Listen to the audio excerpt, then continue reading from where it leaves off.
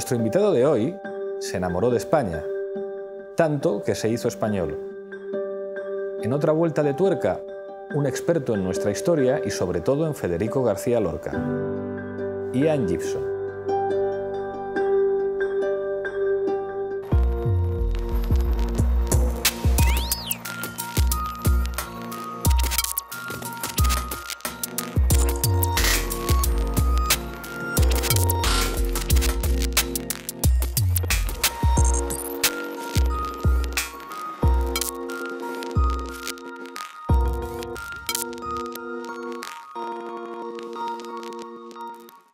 Gibson, en otra vuelta de tuerca, muchísimas gracias por venir.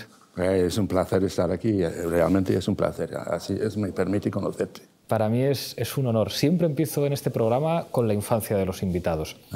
Naces en Dublín, en una mm. familia protestante. Sí, sí, sí, me tocó. Metodista, eh, en una ciudad católica. ¿Esto cómo afecta a tu infancia? Totalmente, totalmente. Ah, claro, en una familia protestante, una pequeña minoría, una pequeña isla ¿no? rodeada de un océano de católicos, con la diferencia que era una familia no rica, pero acomodada. ¿no? Eso daba cierta protección, pero con la sensación de no ser plenamente irlandés. La sensación de ser una pequeña minoría en peligro, ¿no? Un poco en peligro, aunque no estaba en peligro. La sensación, claro, los católicos, los protestantes, el mismo Dios más o menos, el mismo Jesucristo, nosotros sin sin la Virgen, con matices mortales de diferencia, la misma religión. Por eso yo creo que comprendo un poco del, todo el tema musulmán y las divisiones, ¿no? que el, Islam no no es de una pieza y el cristianismo tampoco, obviamente. He leído que te marchaste pronto a Belfast y después a Londres y que tú tenías una cierta obsesión con el psicoanálisis y que tuviste que llegar a Londres para conocer por fin Oye, a un, pero sabes mucho, has, trabajado tu, tu cuestionario. Un poquito. me, interesa, mucho. ¿Tu interés por el psicoanálisis es intelectual o es terapéutico o los dos? No, eh, la terapia. Es que no había en, Irlanda, un poco como en Yerma. ¿Qué hace Yerma? Tiene un problema, no puede concebir, no sabe qué le pasa. ¿A quién consulta? Pues en mi caso, en Irlanda, en aquella miserable isla, entonces ya ha mejorado, eh, no había un solo psicoanalista en toda la isla. Con lo cual eh, que tuve que conseguirme un trabajo en Londres, finalmente, porque yo quería saber un poco más de mí, y de, tanta angustia, tanto sufrimiento. Eh, y había leído obviamente un poco a Freud y a Jung y tal, y, decidí, necesito escapar de, esta isla, que me va a matar. Además había precedentes como Sam Beckett y James Joyce, porque como tú sabes, Dublín es una ciudad muy literaria. ¿no? Claro. De mi sueño era conseguir un puesto y lo conseguí en, Londres que me permitiera hacer un poco de psicoanálisis y lo hice. Y con 18 años te empiezas a interesar por el, por el idioma español. Sí. ¿Por qué? Bueno, mira, eso fue, eh, fue una suerte, que yo ya sabía francés. Yo empecé el francés con, con 8 años o 7 años sin haber conocido jamás un francés, ¿no? Pero tenía algo, algo dentro, una facilidad, no lo sé. A mí me gustaba el subjuntivo como sabes, en inglés no hay ningún problema con el subjuntivo, ¿no? Pero il faut que, yo sabía mm, que después de hace falta que, il faut que, venía un cambio verbal y eh, no me costaba ningún trabajo. Y eso sin haber hablado jamás ni nada de nada, pues, en fin. Eh, el francés, eh, yo supongo por una razón atávica, ¿no? Al fin y al cabo es latín. Y luego, con 18 años, mm, mi alma mater es Trinity College, que, que no es cualquier alma mater. El Trinity College. Y me dejaron entrar allí eh, para eh, estudiar románicas con una condición. La condición era aprender castellano en un año a un nivel suficiente para poder seguir. Es lo que yo hice con 18 años. Un año de gramática y todo eso, y luego tres meses, ¿dónde? Tres meses aquí, no lejos de donde estamos en este momento. ¿Cómo es esa España que tú encuentras tan joven al llegar aquí, años 50, finales de los 50, sí, verdad? No, mediados. Mediados de los 50. Bueno, eh, yo, yo llegué sin tener una sola idea política en la cabeza, no sabía absolutamente nada de nada.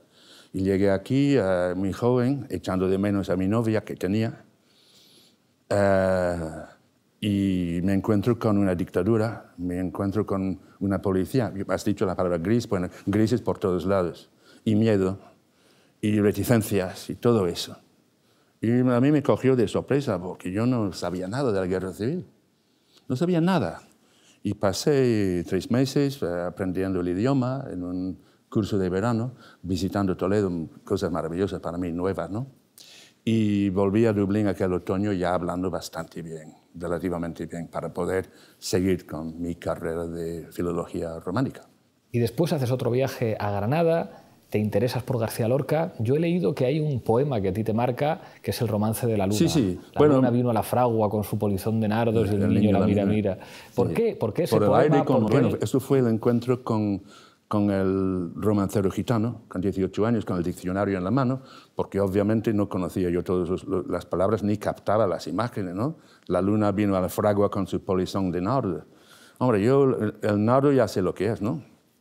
El olor, la lisura, el color, todo eso relacionado con la luna, pero en fin, yo entré allí y no he salido. Fue como el amor, pero apasionado, eh, instantáneo. En unos segundos ¿no? me di cuenta de que había encontrado a mi poeta. Ya conocía algo de Rubén Darío, que fue el maestro de Lorca ¿eh? en poesía. Eso tampoco lo sabía entonces, obviamente. Pero Tú has escrito también que, a pesar de que el modernismo ha envejecido mal al ser sustituido por otros ismos, que sin embargo Rubén sigue siendo un, un escritor fundamental. Ah, es fantástico. Y como yo sabía francés y estudiaba francés y había leído a Baudelaire y a Paul Verlaine, pues claro, Rubén Darío tenía mucho que decirme a mí, que a mí como puente entre la cultura española, hispanoamericana y la francesa, ¿no? de modo que Rubén fue para mí también fascinante. Y luego llegué a Lorca, al romancero gitano. En fin, todo esto ahora viéndolo con desde la lejanía de 50 años y más, pues veo que tenía un sentido, ¿no? me, cambió la vida, me, me, dio una, una especie de misión. ¿no? ¿En qué momento tu investigación sobre Lorca se convierte en una tesis doctoral casi sobre la guerra civil, casi sobre, sobre la muerte y la desaparición de Lorca? Y que luego tuviste muchos problemas. No se pudo publicar en España, lo tuviste oh, que publicar en, en Inglaterra. Bueno, mira, eso fue fantástico, ¿no? Consecuencia de mis lecturas de, en Dublín. Uh, finalmente, el año 65, me dan un año, una especie de año sabático para hacer la tesis, ¿no? Y la tesis iba a ser las raíces rurales de la obra de, García Lorca. El año 65, a Franco le quedaban 10 años. Íbamos a Granada, mi mujer y yo, mi, hija, que tenía un año, que ahora tiene algún año más, y eso fue el año 65. ¿no? Y pasé dos meses en la Vega de Granada con una grabadora de este tamaño, grabando a campesinos, canciones, escuchando anécdotas, empapándome de, de la vida y las costumbres de la Vega de Granada. Pero entre tanto, las noches en el Café Suizo y otros cafés de Granada, pues la gente me hablaba poco a poco, me hablaban de lo que había pasado en, en Granada en la guerra, no solo del asesinato de Lorca, sino de los 8.000 fusilados. Eso, eso llevó su tiempo, ¿no? porque claro, había miedo, miedo, miedo todavía. Pero conocí un grupo de republicanos represaliados y me, me, aceptaron finalmente al principio con alguna duda, ¿quién es este hombre? ¿Qué hace aquí? ¿Quién es? ¿Es quien dice quién es? Y, finalmente, bueno, nada. Y un buen día, aquel octubre, me desperté con la, con la convicción de que tenía que aparcar la tesis doctoral sobre las raíces rurales que podía esperar y hacer una investigación sobre la muerte. Y desde luego fue una experiencia increíble. Me han contado en mi familia desde, desde siempre sobre las dificultades que había para escribir sobre Lorca. Mm. Tú no te acordarás, pero mi abuelo escribió una biografía sobre García Lorca, que se llama Federico García Lorca, el poeta universal, que se publicó... ¿Cómo se llamaba tu abuelo? Manuel Iglesias Ramírez. Hombre, yo recuerdo el libro. Claro, y, y de hecho hubo una correspondencia. Sí, sí, porque... Entonces esto se publicó en 1957. Sí, yo tengo el libro, vamos, Y hubo una correspondencia contigo en la que tú señalabas, hay cosas que aquí no aparecen. Es verdad, sí. Y mi abuelo respondía, ¿usted cree que un represaliado republicano que ha estado en la cárcel puede decir determinadas cosas? Tienes razón, claro, yo era muy joven y, todos lamentamos eh, nuestros errores o falta de comprensión, pero recuerdo muy bien, me, me has dejado asombrado, vamos, me has pues, metido un gol bueno. Ahora veré si soy capaz de meterte a ti algún No pretendía, no pretendía. Pero es, es impresionante que en, que en, este país no se podían decir determinadas cosas. No, hasta que no sale tu libro en el en Reino Unido, hay cosas que en España, incluso quien sabía mucho sobre Lorca, incluso los que simpatizaban con, con Lorca no se podían No, claro que no se podía, había mucho miedo. ¿eh? Mi libro salió, además no en Londres, sino en París, Rey de Ibérico. ¿Te acuerdas de Rey de Ibérico? Claro, qué, qué gran labor hizo Pepe Martínez. Eh, y bueno, la gente tenía mucho miedo, como ya he dicho. Era imposible acceder a un documento. Yo recuerdo, por ejemplo, la Hemeroteca Municipal de Madrid, que entonces estaba en la Plaza de la Villa, que era una maravilla. Eh, había que conseguir un permiso especial para ver periódicos de la guerra. ¿no? Estoy hablando de, del año 65, 66. ¿no? Y como yo no iba a decir, mira, yo estoy, miren ustedes, yo estoy haciendo un libro sobre el asesinato de García Lorca y como tenía un pasaporte irlandés, dije, quiero un permiso ¿no? para poder investigar sobre mi abuelo, el general O'Duffy, que estuvo con Franco en, en la guerra. Voy a hacer un libro sobre la aportación irlandesa a la guerra de Franco. Que claro, me ¿eh? dieron el permiso. aportación, los de, sí, sí. de Valera estuvieron con... Sí, sí, sí, sí, hubo una pequeña aportación. Eh, en fin, vi, pude ver la prensa y yo, o Duffy nada, yo mirando, buscando referencias a Lorca y todo eso. Fue una cosa detectivesca. Yo creo que yo encontré ahí mi vocación de investigador. ¿no? Hay una cosa que a mí no me deja de sorprender con, con la cantidad de, de británicos que mm. os hacéis hispanistas. Eh, Gerald Brennan, tú, Paul Preston. Eh, ¿Qué es lo que os fascina No, pero no es solo británicos. Oye, todo el mundo me dice a mí, los británicos, pero ah, no hay que olvidar a los franceses y a los australianos, a algún canadiense, bastantes yanquis, ¿no? Es decir, que esto es normal. Yo explico muchas veces he explicado que, lo anormal es, España en este momento. Si no se produce la guerra civil, es decir, si no se produce la sublevación criminal contra la legalidad republicana, este país hoy tal vez yo creo que podría ser un país floreciente y habría un biógrafo de James Joyce nacido en Lavapiés, donde yo ahora vivo, ¿no? Es decir, que eso sería la normalidad. Eh, yo supongo que hay más... En buena medida, buena parte de los mejores intelectuales de nuestro país se fueron y buena parte de lo mejor de nuestro país... Bueno, eh, mira, estamos todavía con las, secuelas, ¿eh? Estamos con las secuelas. Este país eh, es un país trágico, ¿no? ¿Tú no crees? Mm, bastante trágico, ¿no?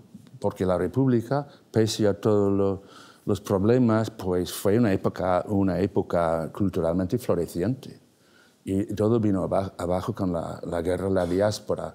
Por ejemplo, eh, no hay muchas biografías en este país, ¿no? pero bajo la República empezaba el interés por el, género biográfico. biográfico. Ahora iremos con eso porque tú lo has trabajado mucho. Antes te quiero preguntar, una noción que a ti te interesa mucho es el orientalismo. ¿Ha habido orientalismo también por parte de algunos que han investigado España? Yo siempre aquí pongo un ejemplo de, una novela que me entusiasma, pero al mismo tiempo me jode mucho, que es Homenaje a Cataluña de George Orwell.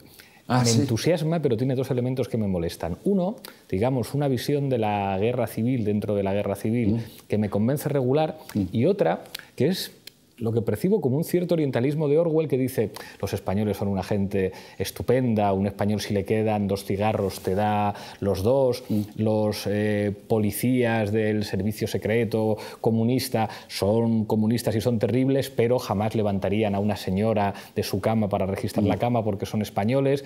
Eh, los españoles son muy buenos, pero en España los fusiles no disparan, eh, los trenes no llegan a, a su hora. ¿No ha habido un cierto orientalismo también en la... En Dice orientalismo. Orientalismo en el sentido que le da Edward Said. Claro, bien es verdad que eh, em, descubrir la Alhambra, ¿no? Washington Irving descubrir la Alhambra, Richard Fogg, que es fantástico el libro de Richard Fogg sobre la España del, siglo XIX, su, su, guía de Granada, y es de España, ¿no? Están fascinados con todo el tema oriental, pero también tiene su razón de ser, por ahí está. Tú veis a Granada por primera vez en 1840 y veis la Alhambra, y veis la Colina Roja, y veis el Generalife, y veis todo eso y no sabes cómo, qué hace allí. ¿no? yo, yo entiendo que España entre Europa y África pues, y toda la época musulmana pues fascina, fascinaba a la imaginación romántica. ¿no? Y se, entiende, pero se enfatiza demasiado, pero es casi inevitable como la corrida de toro o el cantejón, es que están allí, son realidades. ¿no? Claro. Llegas a España y te instalas en 1978. ¿Qué recuerdos tienes de, aquellos momentos, en plena transición? Porque eso tenía que contrastar con lo que tú habías visto antes en nuestro país. No, no, claro. No, hombre, yo recuerdo la noche de Tejero, estuve aquí, ¿no? Y después el alivio y otra vez la gran esperanza ¿no? de una España más libre, democrática, culta. Todo eso es lo que yo recuerdo, la emoción inmensa de, todo aquello. Y luego la noche de Tejero, bueno, eh, tuve mucho miedo porque yo había recibido amenazas y cuando vi los tanques en Valencia, digo, bueno, pero eh, aquella noche pensé, bueno, eh, por si acaso voy a llenar el depósito de gasolina o de gasóleo para ver si me voy, nos vamos corriendo a Portugal esta noche, ¿no? Y fui a la calle Arturo Soria, que como sabes es una calle larguísima, y había 400 coches haciendo lo mismo. Nunca llegué a poder llenar el depósito de mi, mi coche, que fue un, un, miedo atroz, atroz y terrible. Vamos a ir a, a, la parte de las biografías, porque tú has trabajado muchas. Digamos, la figura en la que más he estudiado, que ya la hemos introducido, es Federico García sí, sí, Lorca. ¿Quién es eh, Federico? ¿Quién es para entender España Federico García Lorca? Bueno, yo creo que es un genio total. Y eso no lo sabía cuando empecé, aunque tal vez lo intuía. Pero ahora sé que sí, que a mí me ha tocado ser biógrafo de un genio total, porque Lorca no solo es un poeta con talento, tiene el don de la poesía, pero no solo el don de la poesía, el don de la música, el don de la dramaturgia, el don de la, de la simpatía, el don del dibujo. Es, decir, es un one-man show increíble, un juglar moderno, ¿no? que viene de la Vega de Granada, como hemos dicho, ¿no? que tiene toda la cultura andaluza dentro, pero que luego tiene que hacer el bachillerato y el derecho, ¿sabes? Y todo, pudiendo haber sido un pianista profesional. Los padres, los heavy padres, insisten, como insistían todos entonces, ¿no? hacer la carrera, primero la, el título de doctor o el título de no sé qué, de filosofía y letras, pero e, es como López de Vega, es un nuevo López de Vega, un, un compendio de lo popular y de lo, lo, culto, ¿no? Es todo eso y mucho más. Y luego el misterio. E, e, hay un misterio que nadie podrá entender nunca ni llegar al fondo, ¿no? Este hombre tan alegre, y, tan, como dijo Vicente Alexander, capaz de toda la alegría del mundo, ¿no? pero que luego tenía otra faceta que tiene que ver con, con su condición de, de, homosexual que no puede vivir su vida. Comprenderás que para un, un biógrafo es fascinante todos, todos estos aspectos, incluso la, el aspecto político, por supuesto, ¿no? y luego el asesinato. A los 38 años, en Granada, habiendo sido y siendo el mayor poeta granadino de todos los tiempos, y no solo granadino, y, te van a matar en tu propia ciudad. Es que da un escalofrío. Y ese escalofrío está en la obra. ¿Sabes que hizo todo lo que hizo? Lo hizo en 20 años. El primer texto es el año 1916, que es Mi pueblo, que es un texto sobre su pueblo, desde Granada, y 20 años después lo matan. Es que toda la obra de Lorca, el mundo lorquiano, que hoy es mundialmente eh, conocido y apreciado, se hizo en 20 años. Hay pocos casos como, como Lorca. Otro de, de los poetas sobre los que has investigado es, es Machado. Sí. Y, y, de alguna manera muy vinculado a lo que significaba la modernización en la Segunda República. Sabes que le llevé sí. con cierta mala leche a, a Mariano Rajoy el, el, Juan de Mairena, precisamente tratando de, de establecer... Ah, lo leí el otro día, sí. ¿En qué edición? En la de Cátedra. En la, que, vale, vale. en la que son dos tomos de cátedra ah. comentados, precisamente porque creo que en un momento como este, uh -huh. digamos, recuperar esos elementos por lo que representa Mairena, que es eh, bueno, una España moderna frente a claro. Zorín, al que critica sí, sí, sí, Machado. ¿Qué es eh, lo que representa Antonio Machado para España? Bueno, yo creo que es, es, un, es una voz absolutamente necesaria, y hoy más que nunca. Machado es un andaluz profundo, hondo, mmm, que ama la naturaleza, que nos recomienda el diálogo, porque aquella copla para dialogar, primero preguntar y, y luego escuchar. escuchar. Es decir, primero preguntar y luego escuchar ¿eh? para dialogar. Que tú has dicho, me, me, me, dijiste antes, ¿no? que el diálogo es difícil, porque se escucha poco. ¿no? Él es un, un extraordinario, bueno, viene de una familia uh, increíble. Su padre es Demófilo, que, hizo la primera recopilación de cante flamenco, ¿no? Y el abuelo, el abuelo Machado Núñez, pues es un hombre fabuloso que se merece su propia biografía, ¿no?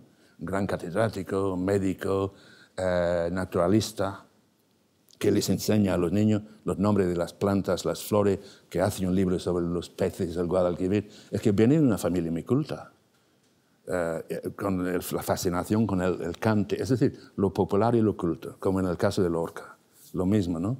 Con la diferencia de que Machado eh, tiene una beta filosófica que para mí me cuesta trabajo. Abel eh, Martín y a veces me pierdo con Juan de Marina, lo admito, porque claro, Machado es de los pocos poetas que también son filósofos. Una formación intelectual impresionante. Exacto, y para seguir eh, su pensamiento no es nada fácil. Hay momentos en Juan de Marena que son páginas que se leen sin ningún problema. Y luego se mete en algún problema es difícil para el lector. No, no es una lectura fácil, ¿no? Siempre. Pero yo lo, yo lo adoro, yo, yo lo... Eh, su nobleza en el sufrimiento. Es un hombre desafortunado en el amor yo creo que de niño le pasó algo. Tú me has preguntado a mí por el psicoanálisis, por claro. Los psicoanalistas siempre te preguntan por el padre, por la infancia. Sí, Eso sí, es fundamental, sí. En, su caso, eh, nació triste. Su madre mm, dijo algo así: jamás he visto a Antonio sonreír o reír, su propia madre, ¿no? Y al lado suyo, yo he visto una foto inédita de Antonio Machado al lado de Manuel Machado, su hermano. Hay una diferencia de 11 meses nada más. Casi son gemelos.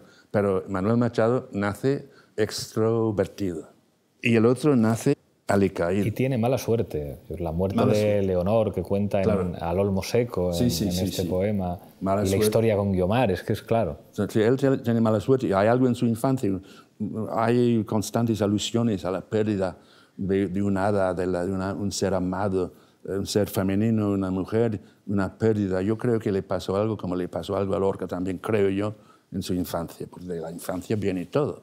Todos venimos de allí, ¿no?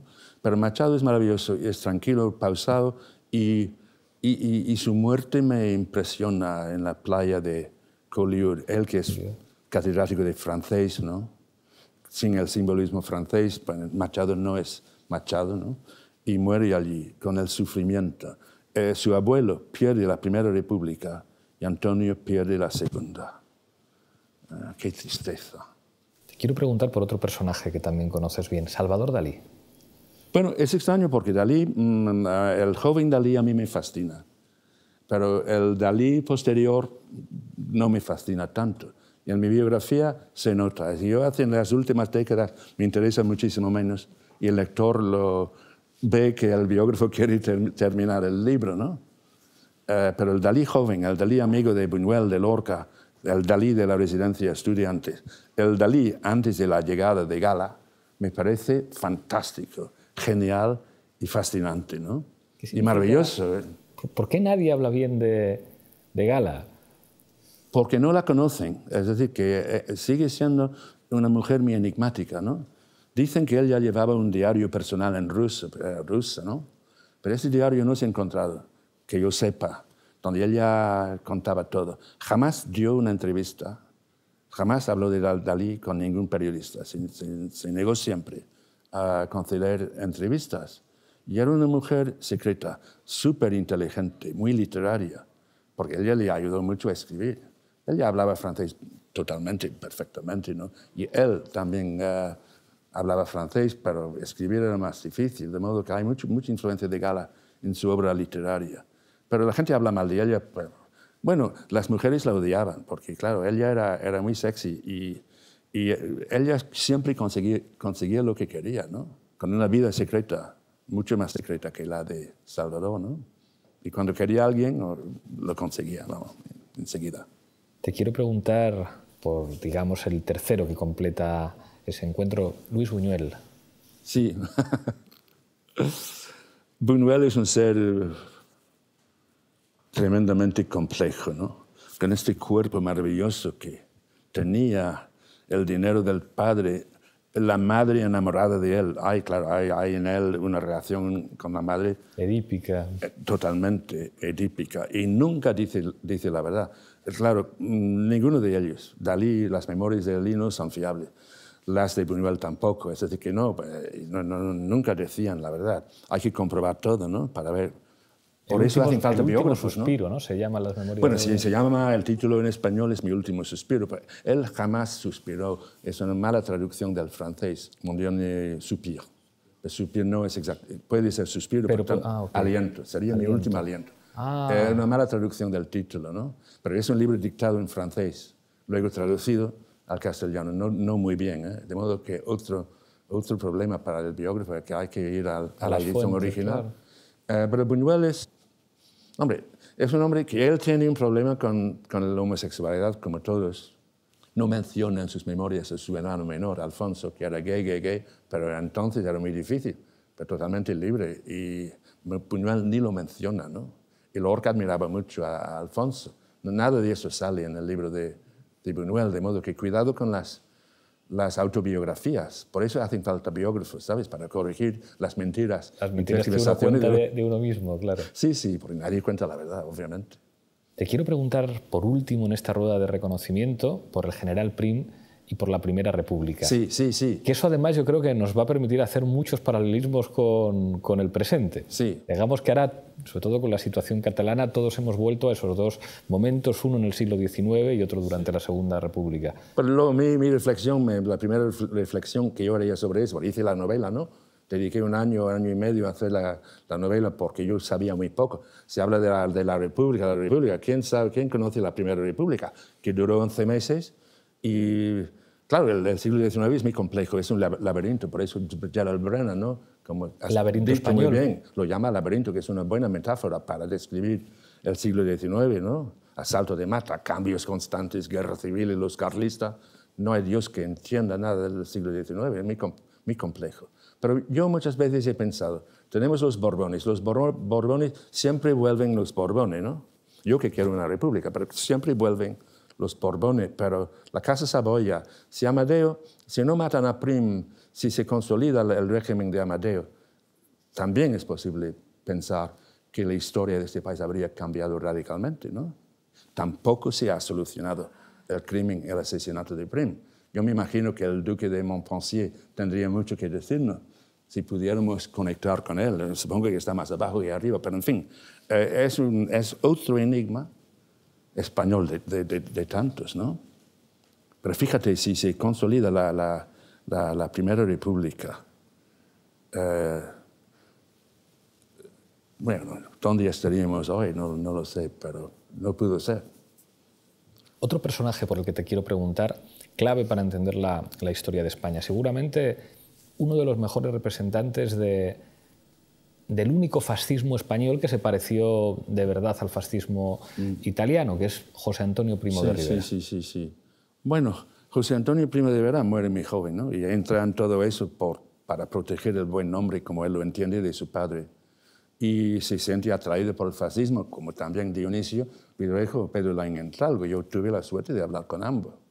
¿No? De que al principio... Que después hicieron un viraje los dos, tanto Pedro sí, como sobre todo Ridruejo. Claro, por eso sus libros son tan importantes. Claro son de los pocos que tuvieron la valentía de no solo de cambiar, pero de decir lo que cómo había sido para ellos. ¿no? Y José Antonio Primo de Vera pues, es, un, es, un, es un ser humano muy atractivo, mm, probablemente fascinante, ¿no?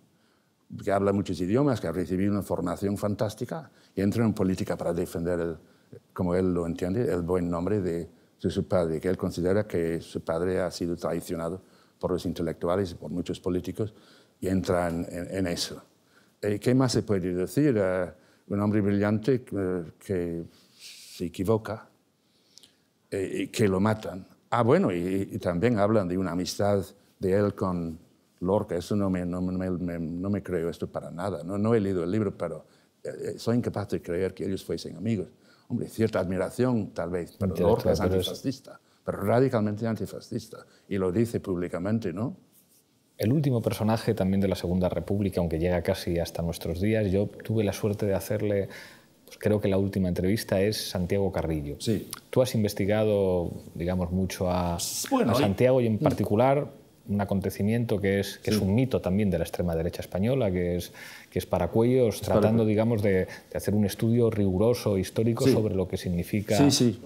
Bueno, todos sabemos, eso es, innegable, que aquí hubo una represión feroz mmm, cuando, cuando empieza la guerra y empieza el horror y aquí eh, y saben, se sabe lo que ha pasado en Badajoz y todo eso y las amenazas cada noche de Quepo de Llano, de, de, Mola, aquí hay un pánico atroz y empiezan a matar a gente. Esto, esto lo sabemos, lo sabe todo el mundo, ¿no?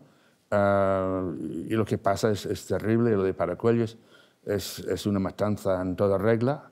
Uh, Carrillo obviamente sabía exactamente lo que pasaba, pero a él en el fondo le interesaba poco, porque él, esto me lo dijo a mí.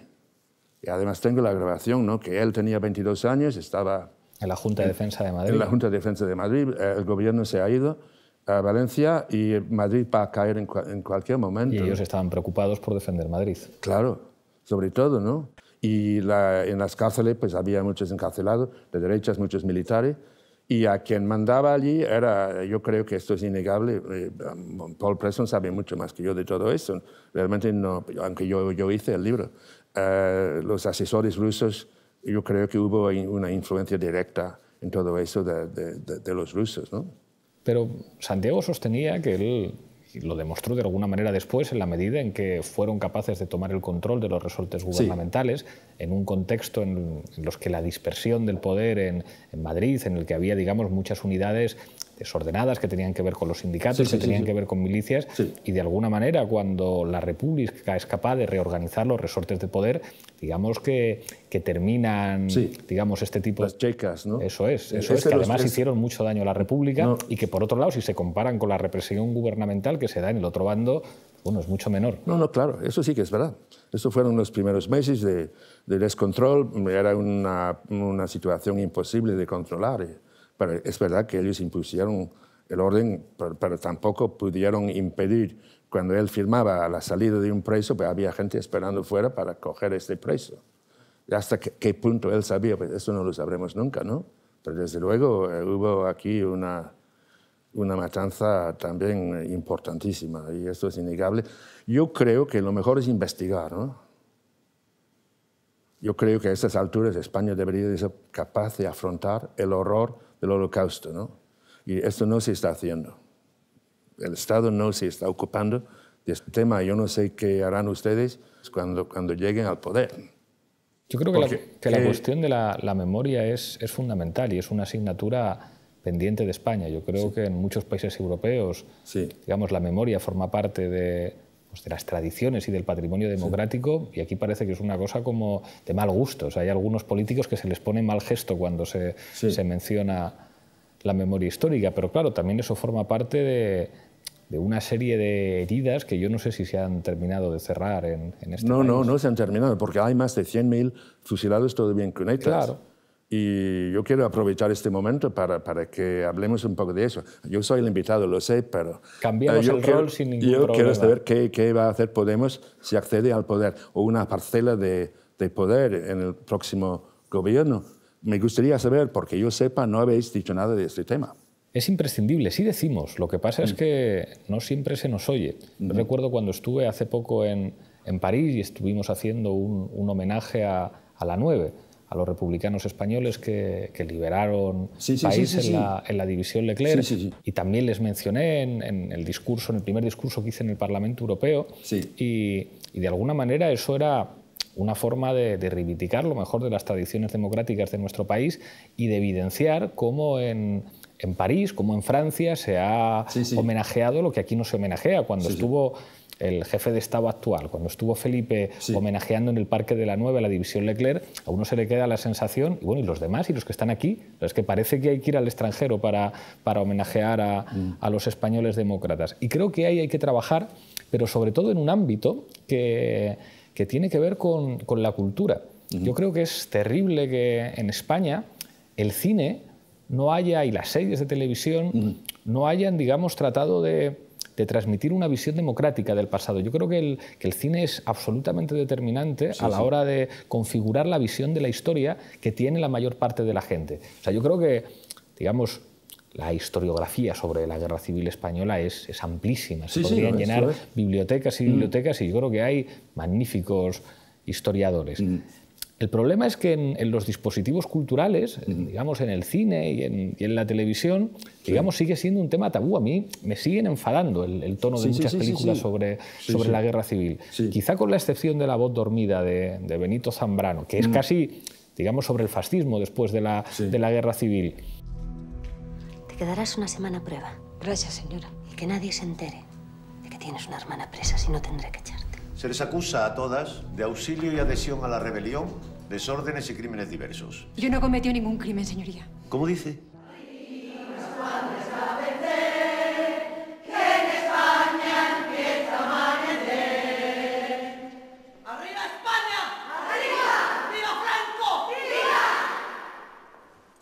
Pues hay muy pocas películas que hayan, mm. Digamos, tratado de explicar el fenómeno. Tiene que venir eh, Ken Loach a hacer una película, que es una película que, precisamente porque se parece tanto a, la novela de Orwell, tiene cosas que no me gustan, pero una película en la que dice que la revolución está bien, o sea, que la revolución es una, cosa, es una cosa buena. Y sin embargo, otras, incluso con intención progresista, como La Vaquilla mm. o como o como la adaptación del libro de Cercas de Soldados de Salamina, de nuevo vuelve a, a construir una especie de, concepto que, trata como de, enterrar eh, o incluso banalizar el, pasado y adoptar una suerte como de, cierta equidistancia entre, entre los bandos, que dices, bueno, esto es impresentable en términos democráticos. Pues vamos a ver qué pasa, qué, qué sale de todo eso. Yo quiero creer que dentro de unos meses vamos a ver cambios profundos en este país. Tengo que creerlo, porque si no sería para mí la desesperación, ¿no? Hay tanto que hacer, ¿no? Yo siempre he dicho también a cuando me preguntan mi, mi, idea de, de, la España futura, ¿no? yo, yo, digo siempre, yo creo que este país en potencia es absolutamente fabuloso. ¿no? Hay una España fantástica allí, como esperando, una España culta, ¿no? Si, si fuésemos capaces, fuésemos, pero yo tengo la nacionalidad, eres español, fuésemos capaces de ponernos de acuerdo sobre lo básico, ¿no? enseñanza pública, la sanidad y, tal, y, y la cultura, y, eh, y la, la, escuela y no ir cambiando cada, cada cuatro años la estructura de, de, la, enseñanza, este país es un país tan fabuloso en potencia. Yo creo que tiene todo a su favor. Pero claro, no puede ser. Si la gente está siempre a la greña, tú más y el otro.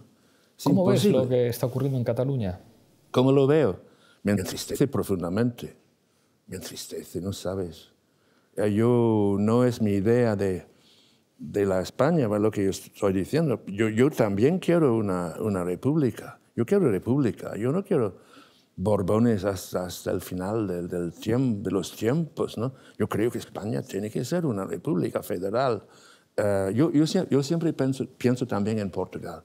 Habrás notado que Portugal no existe aquí. Nadie, nadie sabe nada. Nadie, nadie sabe nada. Cuando viene el hombre del tiempo por la noche a ver qué tiempo hace en España, Portugal se borra, es un parche gris allí al oeste. ¿no? Yo sueño con la gran República Federal Ibérica. A mí me encanta la palabra ibérico, ¿no? La gran República Federal Ibérica, con una mezcla de idiomas, gente leyendo Pessoa. Los catalanes, mira, ¿tú crees que alguien en Madrid lee una novela en catalán? Yo creo que hay poco interés por la cultura catalana. Por desgracia, no. Por desgracia, claro. El otro día en una entrevista me, me preguntaban una cosa y no salía de mi asombro. Me decían, haciendo la broma y el paralelismo con Andar, pero tú hablas catalán en la intimidad. Y yo contestaba, eh, no, pero lo entiendo y me gustaría aprender catalán. Y me decían, ¿cómo? ¿Te gustaría aprender catalán? Y digo, hombre, cualquiera que aspire a ser presidente de España debería intentar pues aprender un poco de catalán, aprender un poco de gallego e incluso un poco de euskera. ¿Y por qué no un poco de portugués? Pero claro, eso algunos no lo conciben. No, lo conciben. no conciben que esto es un país de países. ¿Qué incultura cuando es latín? Tú sabes que la gente dice que el latín es un idioma muerto. Es mentira. El, latín actual, actualizado y actual, lo hablan millones y millones y millones de seres humanos. Y, por eso yo digo, para mí el sueño es la gran España culta y si es posible Iberia, ¿no? Culta, multilingüe, con distintos puntos de vista. Mira, el árabe, por ejemplo, no se enseña en absoluto el árabe. Perdón, me has preguntado por Cataluña, pero también incluye eso. El, árabe... Eh, hay 5.000 palabras árabe en español, eh, topónimos decenas de miles. Madrid es árabe, La Mancha es una palabra árabe. Y no se enseña para nada. Total. Es, es una locura. Esa es riqueza. Incluso riqueza en, términos crematísticos, económicos. España como puente de cultura occidente, oriente. Total, total. Pero Cataluña a mí me, me pone tristísimo. Porque yo aprendí catalán cuando hacía mi biografía de Dalí. Hombre, hablarlo jamás apenas lo he hablado, podría. Uno es de románicas. No es tan difícil, ¿no? Todo es ponerse. Pero claro, como todo, ellos nacen bilingües, qué suerte tienen. Claro. Lo aprecian. Yo creo que Arturo Más, cuando habla castellano lo hace como un, avaro, eh, como si hubiera allí un odio subyacente al otro. Y naces bilingüe, esto te abre mil caminos y ventanas, facilita el acceso a otros idiomas. ¿Por qué despreciar eso? Es una riqueza, ¿no? Pues me, me, me hace muy triste Cataluña, porque yo he pasado muchísimo, muchísimo tiempo en Cataluña, en Lampordà, en Cadaqués, en Figueras, en Barcelona, con Planeta. Eh, he sido autor de Planeta, en este momento no lo soy, me parece. Eh, ¿Sabes? Y todo eso es una tristeza. Yo creo, yo creo en, la en, la, mezcla.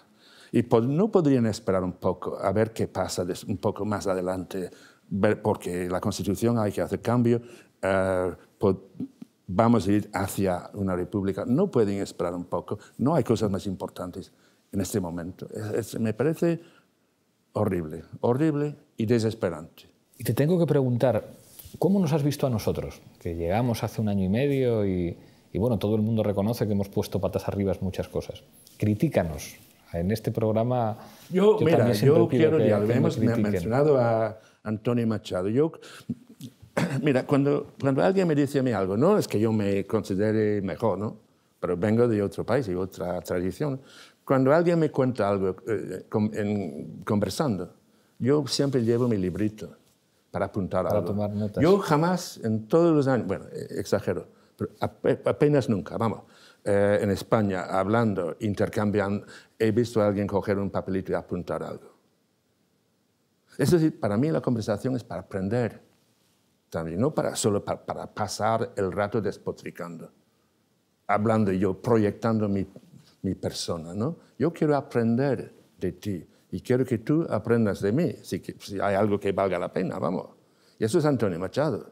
Totalmente. Escuchar al otro y, recordar lo que te ha dicho. Y yo, sobre todo, pediría más diálogo, tranquilo, pero diálogo para aprender y a veces para, para rectificar.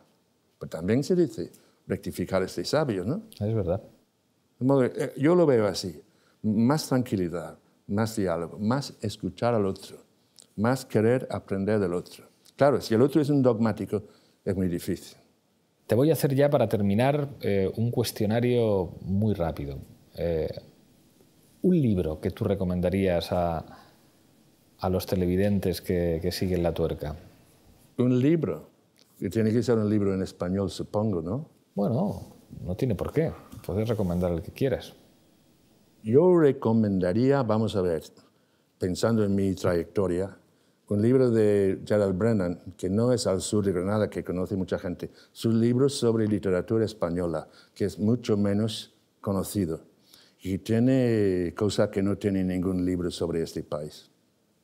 Tomamos nota. ¿Una película que recomendarías? Los Muertos, basado en el cuento de James Joyce. Ah, la irlandesa, que tiene... Sí, sí, ah. Para mí es una película... Sobre todo el, Don Houston. el monólogo final. Bueno, el monólogo es, final, que es tremendo. Es de una hermosura. Yo recomendé el libro el otro día a una amiga en Málaga. Cada vez que se muere un ser querido, además, hay que ver eso, hay que ver eso. Joyce es un genio también. Y tenía una faceta musical.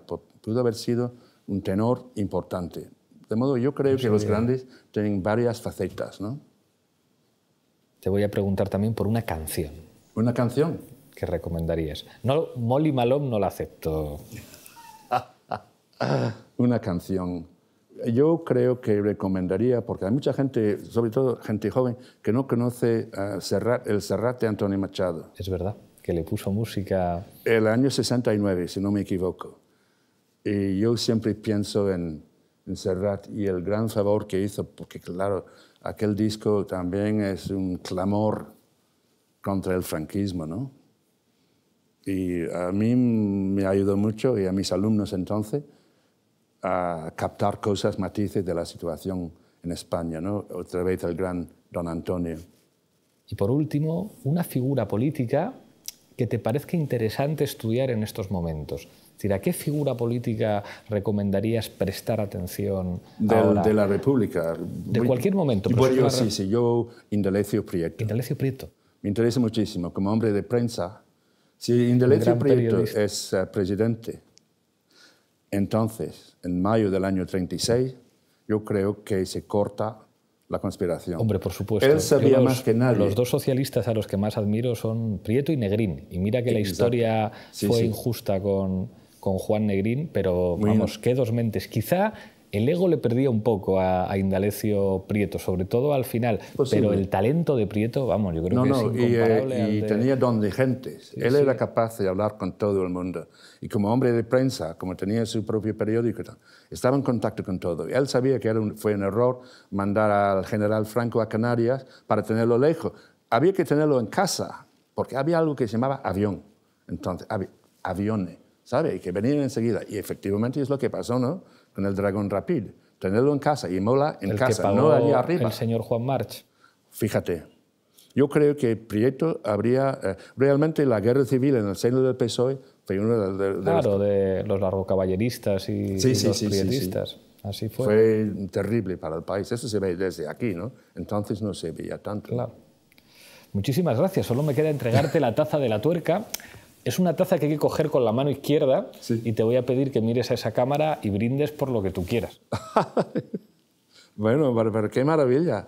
Y qué maravilla haber estado aquí contigo. Por fin te conozco, porque te sigo cada día en los medios. Pues bueno, ya te deseo, ya quedaremos te para deseo tomar una muchísima suerte. Gracias de Yo no sé si tú vas a ser presidente. Lo vamos a Tampoco sé si es conveniente para ti que seas presidente, tampoco lo sé. Yo quiero serlo. Y, ya lo sé. creo que lo voy a conseguir. bueno, mucha gente. yo te deseo muchísima suerte. Gracias. Yo, soy de, yo he sido votante del PSOE. También eh, Sánchez me parece un político muy válido. Y yo voy a ser fiel al PSOE esta vez. Eso, Eso no quiere bien. decir que no tenga para ti los mejores deseos.